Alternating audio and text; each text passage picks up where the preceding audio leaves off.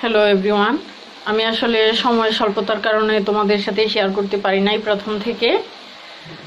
তো এখন মানে বলতে গেলে লাস্ট টাইমেই এখানে অনেকগুলো নারকেল নারকেল আর চিনি দিয়ে দিয়েছি।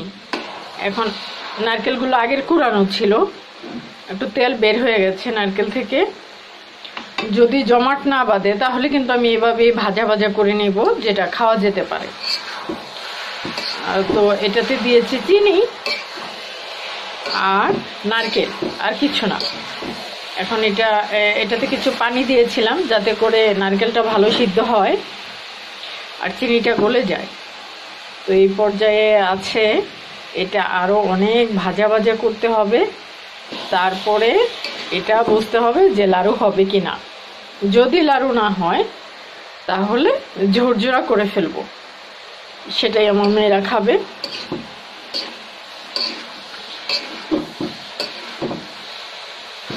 তো মেয়েদের জন্য এটা করে দিচ্ছি। নারকেল, আমাদের মতো বয়স্ক মানুষরা খাওয়া ঠিক না। খেতে পারি বাট সে কারণে সিদ্ধ করতেছি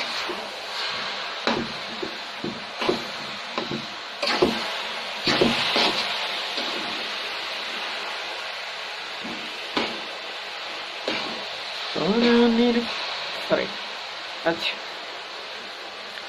তো, এটা আস্তে আস্তে একদম ভাজা ভাজা করে নেব। বন্ধুরা, তোমাদের দেখাইছিলাম যে আমি চিনি আর নারকেল একসাথে ভাজা করতেছি মানে দিয়ে দিছি লাড়ু করার জন্য। তো এই নারকেলগুলো ফ্রিজে রাখার কারণে নারকেল থেকে কিন্তু একটু তেল বেরিয়ে গেছিল। সেই কারণে জমাট বাঁধতেছে না। তাই বলে কি ফেলে দেব? ন ফেলব না। সেটা আমি চিনি দিয়ে এই যে নারকেলের পানি শুকিয়ে নিয়েছি, জাল করে, সিদ্ধ করে, এখন এটা ঝুরঝুর আমরা খেতে পারব। মুড়ির সাথে দিয়ে খাওয়া যাবে, এমনিতেও খাওয়া খাওয়া যাবে। তো আমি এটা লাড়ু হচ্ছে না ঝুরঝুরা হচ্ছে, হয়ে গেছে। তো এটা কি কি বলব? নারকেলের ঝোড়া এটা হচ্ছে শ্যামাইয়ের উপরে দিতে হ্যাঁ সাথেও দেওয়া যায় রান্না করা যায় যে কোনো কিছু মানে মিষ্টি আইটেম বানাইলে হুম। এটা সাথেও দেওয়া যাবে।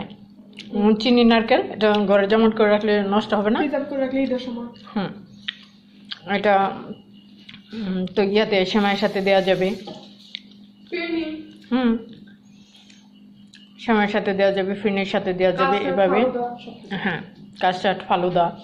ফালুদার সাথে দেওয়া যাবে, কাস্টার্ডের সাথে দেওয়া যাবে। তো আমার মনে হয় যেগুলো অনেক নারকেল থাকলে তোমরা এরকম করে নিতে পারো, কোনো সমস্যা নেই, এগুলো আমার গাছের নারকেল। চিনি কিনে নিয়েছি। তো ঠিক আছে বন্ধুরা, এটা দেখলা নারকেলের ঝোড়া কীভাবে, নারকেল কীভাবে সংরক্ষণ করে। চিনি দিয়ে একদম ভাজা করে ফেলছি খাওয়া যাবে, রাখাও যাবে, কোনো অসুবিধা নেই। ঠিক আছে তাহলে তোমাদের কাছ থেকে আমি বিদায় নিয়ে নিচ্ছি। যদি ভালো লাগে লাইক করবা। বেশি বেশি শেয়ার করবা, যাতে করে আমার মতো এরকম করে নেয় মানুষ। আর নারকেল ফেলে না দেয়, নারকেল পচে না যায়। ঠিক আছে, আল্লাহ হাফেজ।